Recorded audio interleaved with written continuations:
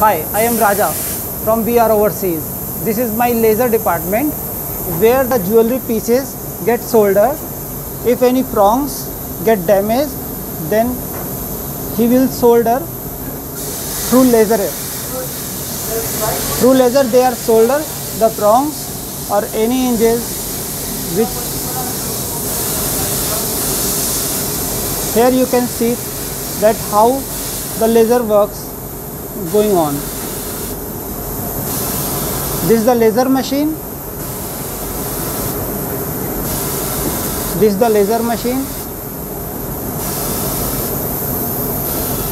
And the team is doing soldering through laser. Thank you so much